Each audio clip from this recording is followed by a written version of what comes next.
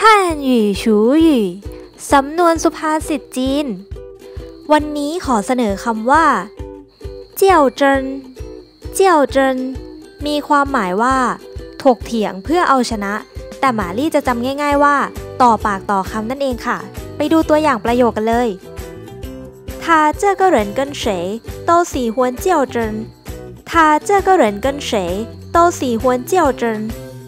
เ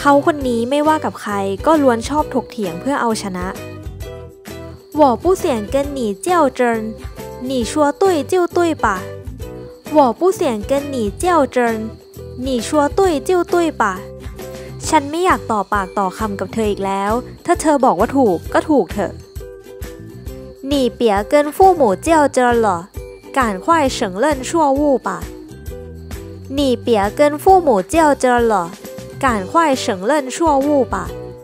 เธอเลิกต่อปากต่อคำกับพ่อแม่ได้แล้ว รีบไปรับผิดชอบกับข้อผิดพลาดเถอะ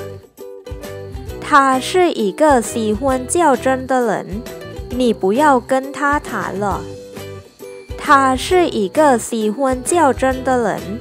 你不要跟他谈了เขาเป็นคนที่ชอบต่อปากต่อคำคุณไม่ต้องไปคุยกับเขาแล้วเชี่ยเชี่ย ก็หวังว่าคลิปนี้จะเป็นประโยชน์กับทุกๆ คนนะคะ และถ้าเกิดว่าใครอยากดูวิดีโอเพิ่มเติมเกี่ยวกับสำนวนสุภาษิตจีนแล้วก็สามารถกดเข้าไปดูได้ที่วิดีโอที่จะขึ้นให้ท้ายคลิปได้เลยค่ะ